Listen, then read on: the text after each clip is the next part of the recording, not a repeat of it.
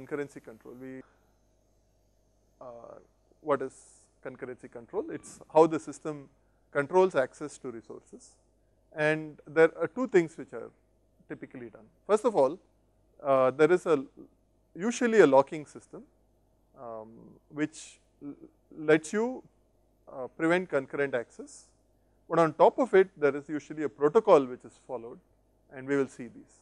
So, there are many protocols, some of them are based purely on locking, some are uh, based on other mechanisms uh, and the idea is that there are some underlying things which are used and a protocol is a set of rules which you must follow in order to prevent problems. So, first of all what is a lock? A lock is a mechanism to control concurrent access to a data item. So, a data item can be locked in, in the context of databases there are usually two modes exclusive and shared mode. So, the idea is you have a lock manager and the protocol locking protocol should ask the lock manager uh, it can tell the lock manager please give me a lock on a particular data item in exclusive mode. And the lock manager can say okay you have the exclusive mode lock or it can say give me a lock on this thing in shared mode and the lock manager may say you have the lock in shared mode. The lock manager has to ensure that you know it's if one person has an exclusive lock nobody else can concurrently have a shared lock or an exclusive lock for that matter. Exclusive lock means that if one transaction has an exclusive lock, no transaction can have any other lock on that data item. All others who have asked for locks can be asked to wait, be told that maybe we will give you the lock after some time, right now you cannot get the lock, that is what the lock manager does. So if somebody already has a lock in shared mode, a transaction asks for exclusive mode, the lock manager cannot grant it at this time, it will make it wait. And once the shared locks are released, then this transaction can get an exclusive lock, just one transaction can get the exclusive lock, others have to wait. So that is a notion of locking. So here is a, a lock compatibility matrix. Uh, compatible means that two transactions can have compatible locks on the same data item. So S and S are compatible. So two transactions can have shared locks on the same data item at the same time. All the rest are false which means if one transaction has an X lock, no other transaction will get either an S lock or an X lock on the same data item. And by the way the table is symmetric, what this means is does not matter which came first. Uh, if S lock came first, X lock came later, X has to wait. If X lock came first, and then an S lock request came, then the S lock request has to wait. Okay, so that is the basic idea. So now um, the minimum requirement with locking is that before you read you better get a lock, before you write you better get a lock and the lock has to be of appropriate type. So before you read you better get a shared lock, lock S on that data item. Now here is a transaction which performs locking, but it can still get into trouble as we will see. So you need something more than just plain locking. So what it is doing is before reading it gets an S lock, it reads it, then it unlocks.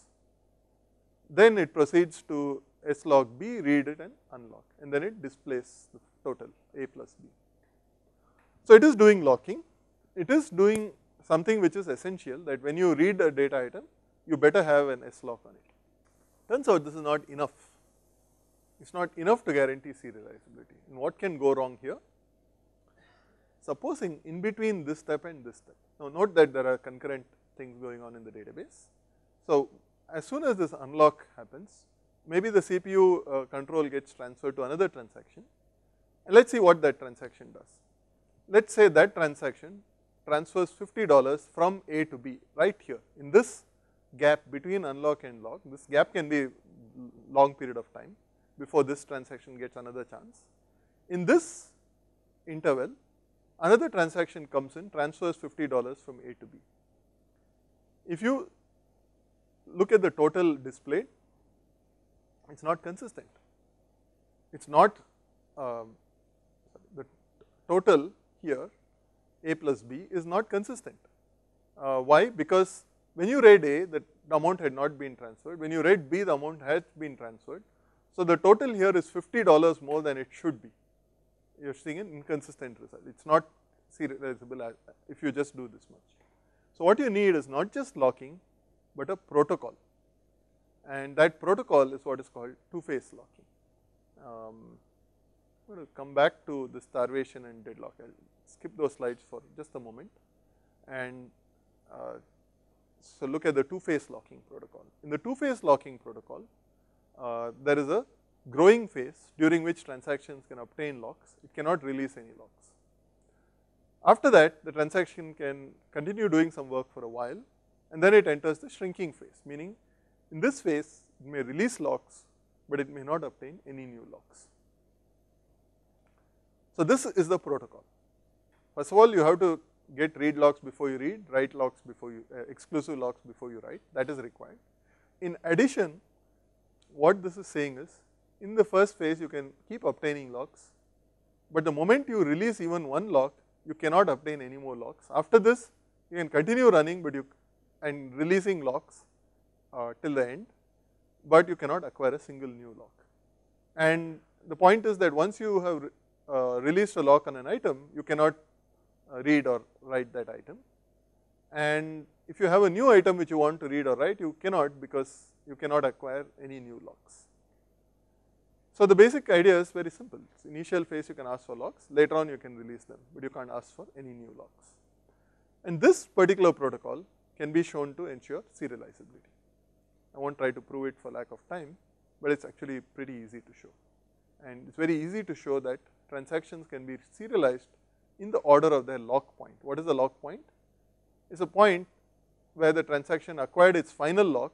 In fact, any point between here where it acquired the final lock to the point where it released even one lock, the first lock release.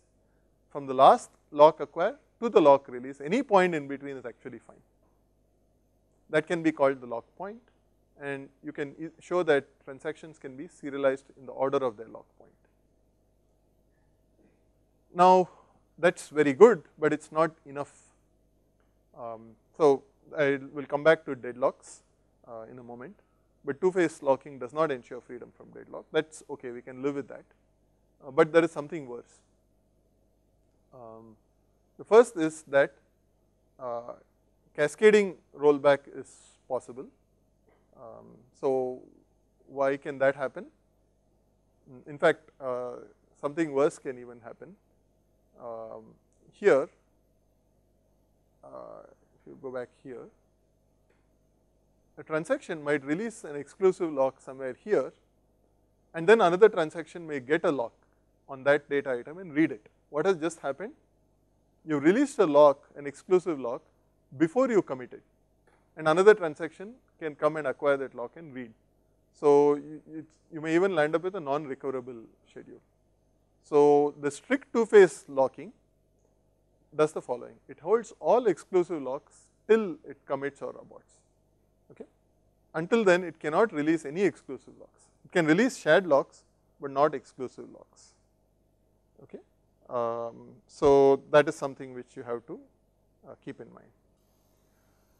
Now there is another variant of this where you not only hold exclusive locks till the end, but you hold all locks till the end and this is called rigorous two phase locking. This has the extra property that the order in which transactions commit will be the order of their serialization. Now without this extra thing, that is if you release uh, read locks early, you are still uh, serializable, but the serialization order may not match the commit order. In other words, uh, a transaction which committed earlier might come later in the serial order. Um, so uh, if you don't want that to happen, users may not be happy about it, then you should hold all locks till the end. In fact, if you see actual implementations, they tend to hold all locks till the end because they usually do not give you a convenient way to say release the locks in between. So practically most lock based implementations actually implement rigorous. Again there is some terminology uh, difference between different papers and books. So in the industry people say strict two phase locking. When they say that more often than not they mean this what our textbook calls rigorous two phase locking. So this terminology was taken from some original research papers which defined these terms. They were supposed uh, to be definitive papers, but in industry people went ahead and started using the term strict two phase locking to mean what uh, we call rigorous two phase locking that is all locks are held till the end. Uh, so, if you uh, see uh, somewhere where something says a database follows strict two phase locking most probably it holds all locks till the end. Okay. So, that is the two phase locking protocol, it guarantees serializability. Uh, now, before uh, we proceed further, let me point out two issues which any locking protocol has to worry about. The first is deadlock. So, here is an example where uh, transaction T3 uh, read B and wrote B, at this point it has an exclusive lock on B. Okay. Meanwhile, T4 came along and read A, it has a read lock on A. Then it asks for a lock on B. By the way, this lock S means it is asking for a lock, that is what this means. Does not mean it has been granted the lock. It has requested a lock on B. Can this lock on B be granted? No, because T3 has already got an exclusive lock on B. So, this cannot be granted, T4 is waiting at this point. T3 finished writing B and went ahead and now it wants to exclusive lock A so, it requests lock x on A. Can this lock be granted?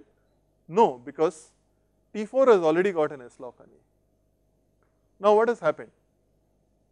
T3 is waiting because uh, it needs a lock which T4 holds. So, it is waiting for T4 to release the complete and release the lock. T4 on the other hand is waiting for a lock that T3 holds. So, it is waiting for T3 to complete and release the locks. Now, clearly neither of them can make progress. So, we have a deadlock. So, what do we do? First of all, any lock manager should have uh, built-in functionality to, to detect such deadlocks. And how do you detect it? The lock manager can keep track of who is waiting for who. At this point, since the lock S cannot be granted, uh, the lock manager realizes that T4 is waiting for T3 because T3 has that lock in exclusive mode. At this at this point the lock manager also realizes that T3 is waiting for the lock on A which means it is waiting for T4. So now there is a cycle T3 is waiting for T4, T4 is waiting for T3 and there is a cycle which is causing a deadlock. So the lock manager should detect such cycles uh, which have uh, resulted in a deadlock. Now what does it do when it detects such an issue? Luckily uh, databases already support the ability to roll back transactions. So what the lock manager should do is tell one of T3 or T4 to roll back. So what does rollback do? It undoes whatever it did and releases the lock. Say T4 is rolled back. Okay, T4 has not done any update, so it there's really nothing for it to do. It can release the lock on A, and now T3 can go ahead and complete. On the other hand, if T3 is rolled back, what does it have to do? It has already written B. So, it has to undo the write of B and then it can release the lock on B after which T4 can continue and complete. So, one of the transactions in a cycle must be rolled back and its locks released. So, that is one issue. The second issue is a less problematic issue, but it can happen if you do not design your system badly which is starvation. What is starvation? Supposing a transaction is waiting for an X lock on a data item, while somebody else has an X lock. Okay. So, uh, right now the transaction has to wait. Now, supposing a new transaction comes by which wants an S lock. If you look at the compatibility, the new transaction wants an S lock, whoever has the lock on it currently is an S lock, it is compatible. So, the new transaction gets an S lock, say fine, no problem. Now, a third transaction comes in and also wants an S lock, it gets the S lock. At this point maybe the first uh, transaction with the S lock has uh, done its work, it commits and goes away. Maybe the second one which uh, got the S lock also commits and goes away, but the one which wants the X lock is still waiting. Now a fourth transaction comes which also wants an S lock and it is granted the S lock and this can keep going on and on each transaction which wanted the S lock might complete and go away. So, each one of them is finishing, it is not uh, causing an endless wait by itself. But if you see the poor transaction which wanted an X lock, it is starving because one after another the other read transactions are uh, going ahead and preventing this from making any progress. So that is one kind of starvation. There is another kind of starvation when uh, due to deadlocks the same transaction is rolled back again and again. Both of these have to be avoided uh, and concurrency control managers can the lock manager rather that part concurrency control manager is a bigger system the subsystem is the lock manager. So the lock manager can ensure this first problem won't occur as follows. Supposing a transaction is waiting for an X lock, it's wanted an X lock and it can't get it because somebody has an S lock, it's waiting. Most lock managers would do the following. If a new transaction comes in and wants an S lock, they will not allow it to proceed. Yes, the lock is compatible with the existing S lock, but if they allow it, the X lock transaction may starve. Therefore, they will make it wait. In other words, no jumping the queue. If somebody ahead of you in the queue is waiting, you have to stay behind in the queue even if you, you know you are compatible with the current block on the data item, you have to wait for your turn. So, uh, if you prevent queue jumping, starvation is by this means is prevented. The other part repeated rollback also has to be taken into account during uh, deadlock detection in rollback. I not get into the details. So, so far what we have seen is uh, the basics of locking, deadlock, starvation and two phase locking protocol which is very widely used in, in particular the rigorous form where all locks are held to end. So, this is a special case you can get a lock whenever you ask for it as long as there is no conflict on that particular data item and once you get it you keep the lock until you finish the transaction and at that point you can release the locks. This is the most common mechanism which uh, many databases support. Uh, SQL Server supports it, IBM DB2 supports it, uh, MySQL supports it. But there are other protocols uh, which uh, we are going to see briefly, snapshot isolation which uh, Oracle and PostgreSQL. just wrap up with a few more things about locking. The first thing is if you wrote an SQL query, uh, you are not explicitly saying get locks. So how does the system decide what locks to get? If you have a transaction with a number of SQL queries, the first one may read a data item, the next one may update the same data item. So when you run the first transaction, the database system sees that you are reading it, so it is going to give an S lock. When you run this next, uh, next query which is part of the same transaction, we turned off auto commit and so the next query is part of the same transaction, it is updating the same data item. So you also need lock conversion. In other words, in the first phase you can acquire an X lock, you can acquire an X lock on a data item which you have not locked. You can also have a situation where you already have an S lock and now you want an X lock and this is called a upgrading of the lock or lock conversion from S to X. This is acceptable in phase 1. Conversely, in phase 2, you can release an S lock, you can release an X lock, but you can also do the following. You can downgrade an X lock to an S lock. Now again, most implementations do not uh, support explicit downgrading, um, but upgrading happens automatically. The as, as, you know, whenever you have SQL query which first reads and then another SQL query which updates the same item, or even the same SQL query first reads the data item and then updates it, it can happen, it is not uncommon in fact, uh, then upgrade will happen.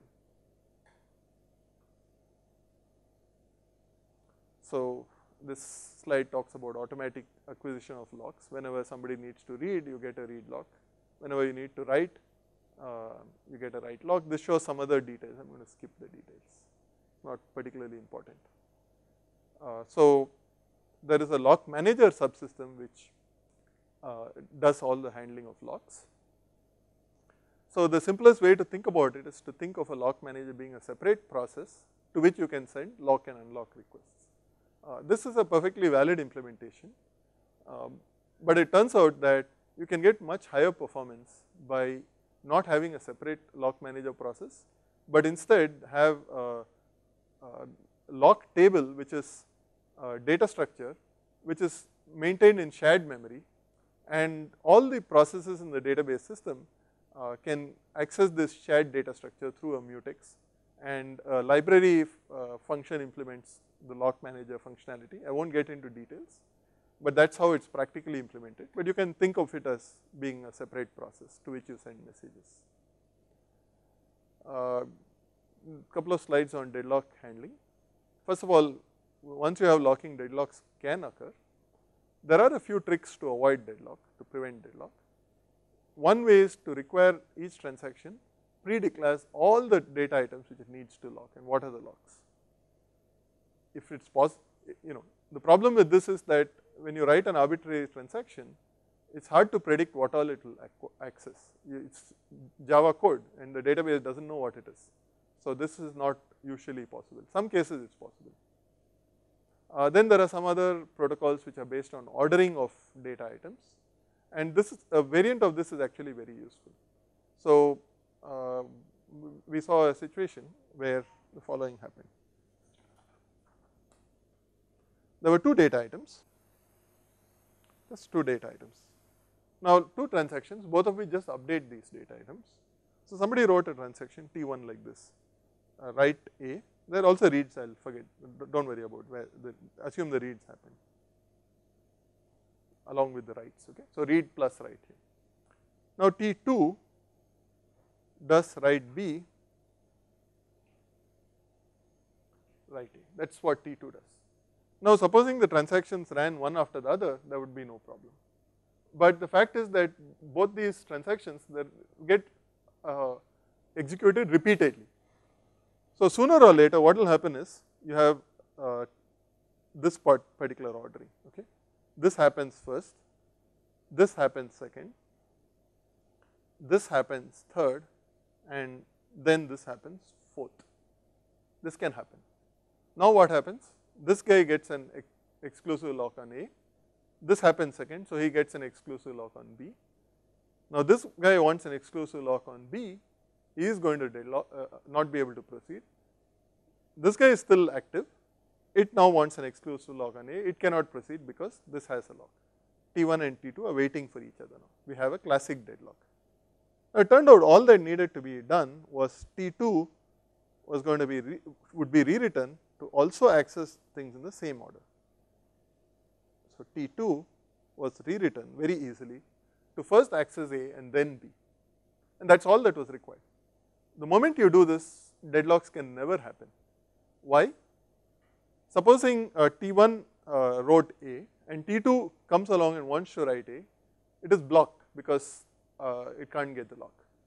Now uh, T1 can proceed and get the lock on B and complete, T2 cannot interfere. Conversely, if T2 first got the lock on A and T1 wants a lock, exclusive lock also on A, it cannot proceed, T2 will complete before T1 can proceed. So there will be no deadlocks here. So ordering is a very useful tool to prevent deadlocks and where possible you should do it but it is not always possible because transactions can be very complex. This was a very simple pair of transactions. Uh, I already mentioned that uh, you have to detect deadlocks which are basically cyclic waits. So here is a set of transactions and the edge denotes who is waiting for who. This edge means T18 has a lock and T17 wants a lock in a mode which is not compatible with T18 therefore it has to wait for T18 and so forth. Here there is no problem. Uh, somebody is waiting for T20, T20 is not waiting for anybody, it will eventually finish unless it creates a deadlock later. If it does not create a deadlock, it will finish and go away. Now T18 is not waiting for anybody, it will finish and so forth. But here we have a cycle, T18 to T waiting for T20, T20 waiting for T19, T19 waiting for T18. So this is a typical deadlock. So you have these graphs called a wait for graph and you look for cycles in the graph.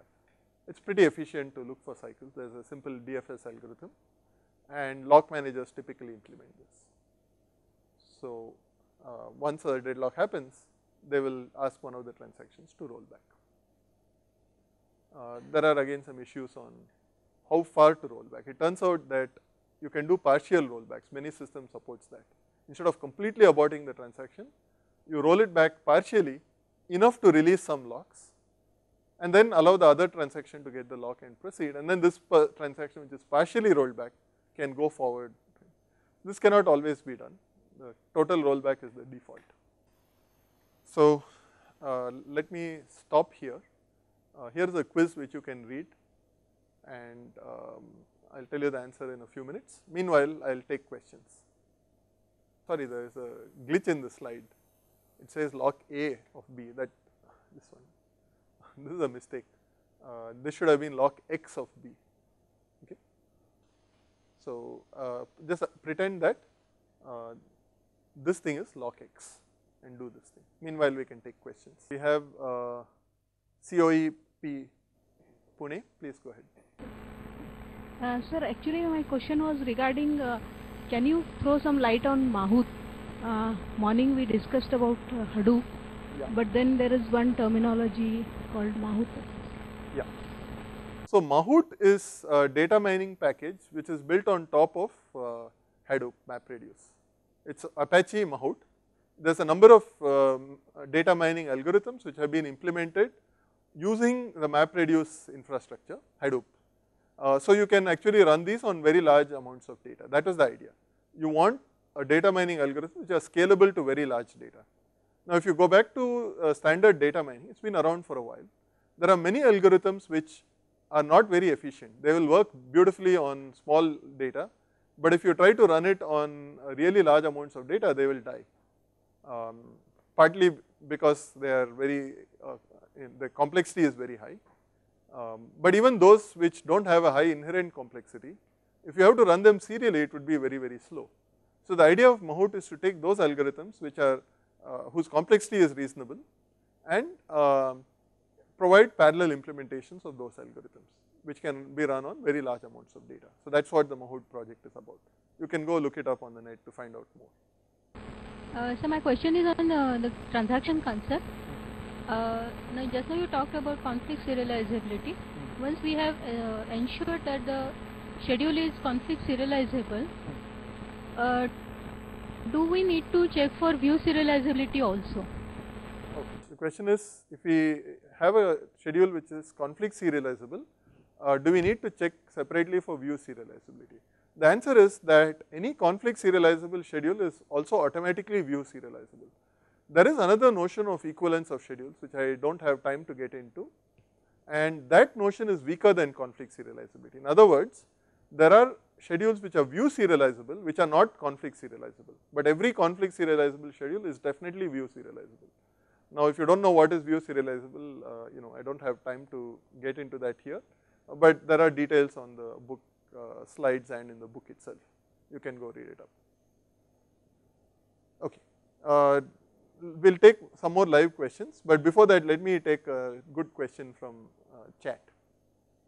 The question is in an ATM machine, uh, when we withdraw some amount, uh, ATM machine will do the transaction and you get a confirmation. But in some situations, uh, if the ATM machine does not have enough balance, it rolled back the transaction it committed earlier. Uh, so uh, why are they allowing a transaction to commit at the database before checking the amount available in the ATM. Okay, this is an example of a badly designed transaction, you know, this should not happen. If somebody has goofed up in the design where, you know, they should have first uh, looked at the amount you asked for, check if the ATM machine has that amount because access to the ATM machine luckily is serial. Nobody, no two people can access the ATM machine at the same time. So you have the lock on the ATM machine while you are in front of it. So now uh, they should have first checked if there is enough balance, then uh, they should have gone to the uh, database and checked if you have enough balance and then let uh, you, you know, the transaction either proceed or tell you no you do not have enough balance. One of the two things should have been done uh, either okay or not okay. But uh, I think what this person is complaining about is that some bank has goofed up and there are situations where after the amount is deducted from the bank, then the ATM realizes it does not have enough money and then the transaction is rolled back in the bank. In fact, rollback in this case might mean uh, the, there is a fresh transaction which adds the amount back, okay. So uh, this is a bad design, but sometimes other problems can happen. The ATM had enough money, uh, it was all ready, but uh, when uh, it tried to dispense the amount, maybe it is jammed. There is a mechanical problem, it is not able to dispense the amount. If it detects this, it will uh, run a transaction to credit the amount back in your bank balance. Uh, sometimes it may not detect it and it may think you have actually got the money. Uh, then it becomes your headache, it is no longer the bank's headache and you did not get the money, but you go back and check your uh, passbook and you see that they have deducted the money. Then what to do? You go complain to the bank saying, hey, you are cheating, you did not give me the money. Then the bank may say, uh, you know, they may go back to the ATM and check the balance there. If the extra money in the ATM, that is proof that it didn't give you the money. Um, in addition, most ATMs also have a camera to record what is happening. In case there is fraud, they know who was, they, they have a picture of whoever was there. So now that uh, picture can show whether uh, the money actually came out of the machine or not. Of course, if you say that, hey, I uh, asked for 15,000, the ATM machine gave me 14,500, that is uh, harder to prove using the video. But maybe even in that case, they can check the balance cash in the ATM machine and check in some cases they may decide you are uh, not lying and give you the money.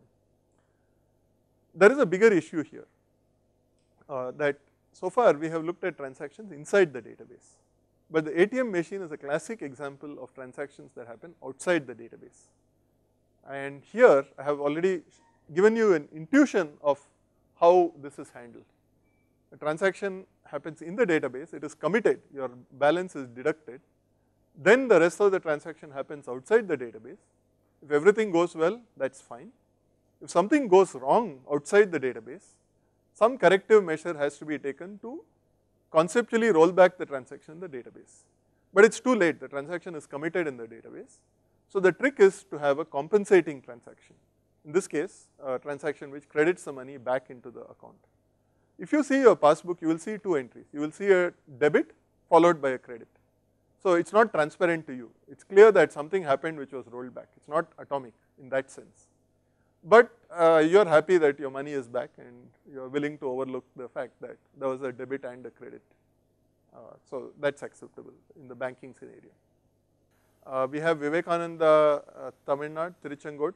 Please go ahead, Vivekananda. How does HDFS get a good throughput in Hadoop? How does HDFS uh, give good throughput in Hadoop? Okay, so first of all, um, uh, you know, Hadoop is not necessarily a super efficient implementation. It is very widely used because it's open source, it's free, but you are paying a price in that uh, stuff is done in Java, there are some overheads for doing it in Java and uh, HDFS is also written in Java, which means HDFS also has uh, overheads due to Java. Uh, so there is uh, some price for all of this. If you uh, compare uh, with what Google does, uh, their GFS and their MapReduce are all written in C or C++ or some other dialect of C. So their implementation is likely to be far more efficient. But um, Yahoo and Apache went with Hadoop because there is uh, two issues here. One is the efficiency of execution, the other is efficiency, you know, uh, issues because of programmer error. Now, if you are running a C program and it has an error, uh, it, first of all it's harder to debug C programs, they generally have a lot more errors. So there are going to be a lot more runs where uh, people run something and get a wrong output, program crashes and so forth. Uh, those problems are less in Java. Uh, so programmer productivity goes up, but it's at certainly at some cost in terms of the throughput that you can get. Uh, so uh, yes, there is a price you pay. Um, so now people are providing for example Hive which is SQL based, but the underlying implementation they are moving to um, non-Java platform which might be faster. Now that in turn runs on top of HBase uh, which itself is I think Java based. So yeah, Java has some overheads, um, but you know it's a trade off. You could get some improvement by using C, but Java is not so bad. It's not uh, horribly inefficient. It's a little less efficient, but not horribly so. So it's considered good enough for most applications. Uh, Royal College, Kerala, please go ahead. Sir, I use used CloudSim for doing some uh, simulations in cloud Can I relay this uh, Hadoop with uh, Cloud SIM? Okay. Uh, I am not familiar with Cloud SIM, but uh, I believe it is something which lets you simulate uh, what would happen if you were running in the cloud. Is that what it is? I am not used to it, so I am not sure. So without knowing exactly what is Cloud SIM, I cannot relate it to Hadoop. But from the name, it sounds like a simulator uh, which can simulate long distance delays and so forth, uh, which would reflect what you would see if you were running something in the cloud. So if, if you're running in the cloud, the problem is that when you're communicating with a service which is running on the cloud, it's going to take a long time for your packet to get from here to there. For example, if your service is running in the US, you're looking at uh, several hundred millisecond delay uh, for uh, packets to get there, which is partly simply because of uh, speed of light delays and then partly because there are many routers along the way, each of which may introduce some delay. Uh, so I think Cloud SIM, if I'm not mistaken, uh, helps you see what will happen if you do something in such a setting. And it has no relation to Hadoop, but I may be wrong because I don't know exactly what is Cloud SIM. So if you have a follow up, please ask, otherwise leave it at that. Okay, we have uh, Sasurie College, Tamil Nadu, please go ahead. Uh, my question is, can you give us a simple explanation for difference between DBMS, RDBMS and ORDBMS, OODBMS? Uh, difference between uh, relational, object oriented and object relational. Now this sounds like exactly the kind of question you should not be asking in exams, but I see unfortunately many exams ask people to define concepts like this. So I will refuse to answer such a question and I will strongly urge you not to ask such questions anywhere. Okay, I, I know you are asking the question because such questions come in exams, uh, but uh, we need to reform our exam system. I am going completely off topic, but uh, you have triggered off something which I have been meaning to say during this workshop. I did not get the chance. And the point is that uh, we want to ask questions which test some deeper understanding. Now, how does it matter, uh, you know, how an ORDBMS is defined, how an OODBMS is defined? Can you define Hinduism? Can you define uh, Islam? Can you define, you know, a car? Does it matter? Okay, does do we care about it? You know, there's a war going on between cars versus quadricycles versus auto rickshaws. If you are familiar with that debate, uh, defining these things, it may matter to some people, but for you, you get in, sit, and it takes you somewhere. That's what matters, and then you focus on things which really matter, and that's the same kind of attitude we should have towards databases. Focus on things which matter, and sometimes things which are intellectually stimulating, which uh, lead to some very interesting things. So maybe normalization uh, is kind of less important today because ER modeling takes care of most of the issues, but it's still a very nice topic intellectually and it's good to expose students to some such uh, deeper uh, mathematical topics in any area. Uh, so you want to look at either mathematical elegance or practical importance and then ask questions which are related to that to test the understanding of the student in that area. So if you ask a student to write an SQL query or to find a bug in an SQL query or to fill in the blanks to complete an SQL query, these are all things which require understanding. Uh, defining an ORDBMS, OODBMS, you know, you can look up the definition on the web if you care. Um, and it's described in the textbook, uh, so go look it up. But please don't ask such questions in exams. And like I said, for the same reason, I will not answer it. I will say go look it up on the web or in textbooks. If you have any other question, please go ahead. Okay. It's a small doubt. In normalization for the RDBMS, how to implement it for the hash table and to the hash mapping table? How to implement in normalization for the mapping storage? Okay, how to implement a hash table? Uh, so uh, there's plenty of uh, uh you know code available in textbooks on how to implement a hash table. Any algorithms textbook will talk about it. Now the difference in a database is that uh, if you are building a persistent hash table in a database, that means the contents have to reside on disk and should survive uh, system shutdown and restart. That's the main difference from an in-memory hash table.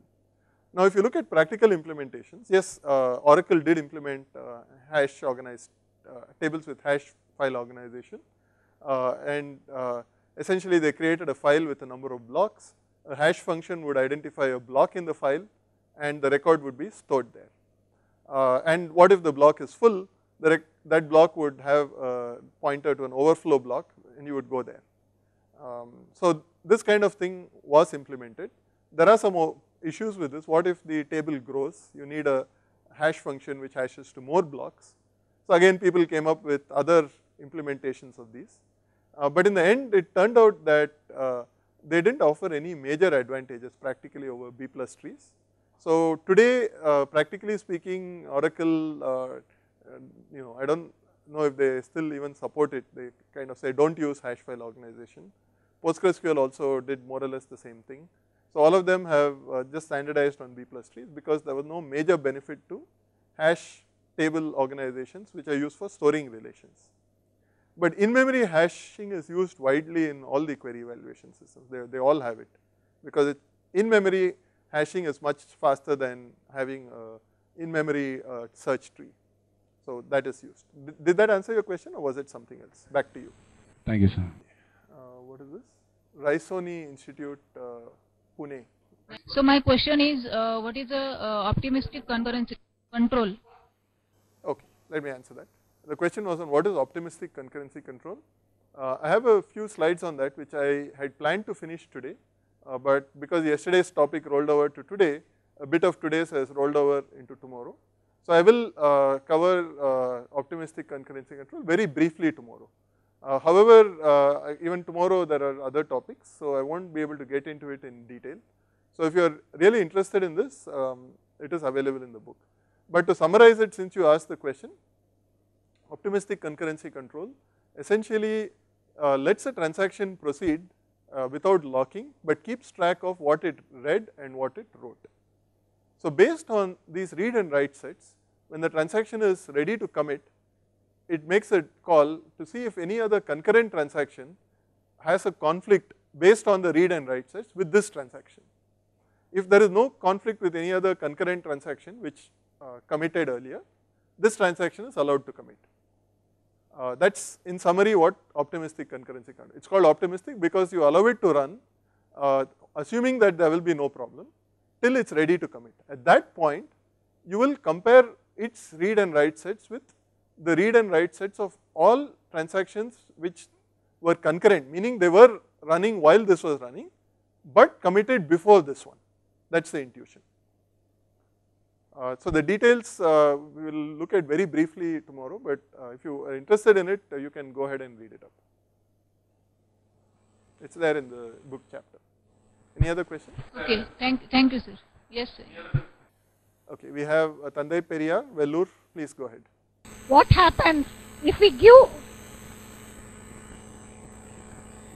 if we give the, in the SQL date function month more than 12 Month more than 12. is there is it valid or is there any constraint Yeah, so a month more than 12 would be invalid uh, clearly. So uh, that uh, you know, so the way you do it is uh, you say date and then a string. So it'll uh, it should give a syntax error. If it doesn't, that's a bug in the implementation. Uh, there's another issue of seconds beyond you know 0 to 59 is normally the allowed seconds. Occasionally you have a leap second. So second with a value of 60 might be required. Um, so that may be allowed, but a month beyond uh, 12 should not be allowed. Any other question from you? so what is this software tool available to maintain RAID Okay. So question is how do you set up RAID with software? Now uh, Linux comes with uh, RAID tools built in. So when you install Linux, uh, you have to do a little bit of work uh, to uh, tell it that uh, you know this set of disks should be kept in a RAID mode.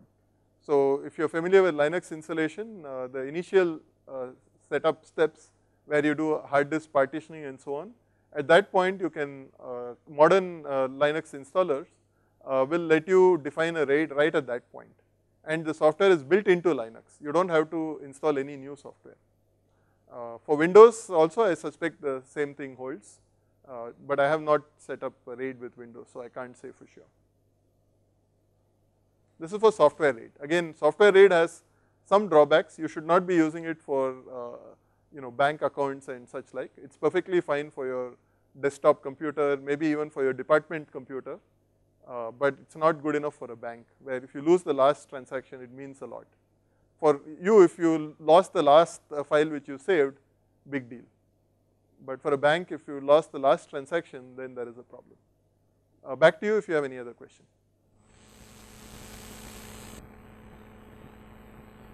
Sir, what is the command to know what are the servers or applications are running in Ubuntu? You want to know what all uh, servers, applications running in Ubuntu. Uh, so, uh, you in Linux, in, uh, not just Ubuntu, any version of Linux, uh, there is a ps command. Uh, the ps command normally tells you what processes you are running. So, if you say ps space minus ax, it will tell you what all processes are running in the system, all processes, whether they are services or user processes or whatever. Mm. But let us uh, you know stick to database questions here. For that sir, we will note down the command. Yeah, so P, uh, it's not a database question, I really don't want to spend too much time, but this particular one might be useful to you. So it's PS space minus AX. PS is what processes are running. Similarly, uh, ls will show you what all files are in a directory. If you want to know their sizes and so on, you can say ls minus al.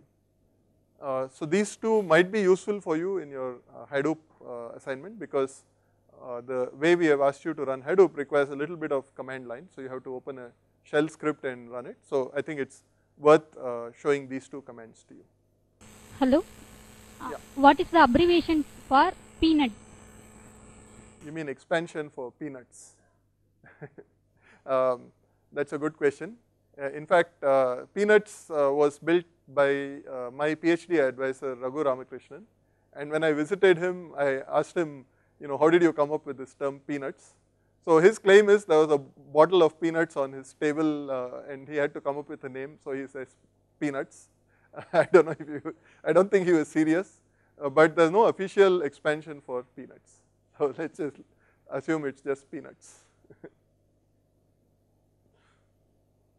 Any other interesting questions? Sir, is there any automatic software? Uh, is there any automatic software available for doing schedule in transactions, sir? So you want software for scheduling in transactions. Well, first of all, uh, the scheduling, or once you submit your query to the database, uh, the database is handling all the scheduling decisions. You cannot control it externally, it's all internal to the database. Uh, now if you want to uh, control when the uh, different transactions submit things to the database, that kind of scheduling, um, I am not familiar with, I, I know there are uh, software packages available for deciding on scheduling for you know like other things. If you have uh, construction or some other such activity, so you create uh, pro, you know steps, dependencies between steps and then you can get charts for scheduling these. Uh, normally in databases this kind of issues don't come up, so I don't know of specific scheduling software. Uh, but for specific application like real time databases, um, people have shown that certain ways of doing scheduling might be better than certain other ways. Uh, so people have built uh, schedulers for real time systems, uh, but again you need to get into the database to uh, build it in the database, you can't do it externally. If you have access to PostgreSQL, you might be able to hack the PostgreSQL code to build it. And maybe people have done it, but I am not familiar with uh, what tools are actually available. There's a lot of research on this, uh, practical tools I am not sure. Okay, last question. Sir, can, can we insert tuples in a relation with special information? Insert a tuple with spatial information into a relation. Yes, I think I mentioned this earlier. Um, there are uh, uh, types for spatial data which are uh, part of PostgreSQL extensions, Oracle has it. You can certainly uh, insert tuples, there is also syntax for this. You can go read it up, Oracle spatial extensions or Postgres, PostGIS, uh, which is uh, Postgres with some extra data types for spatial data. I think we should perhaps stop here.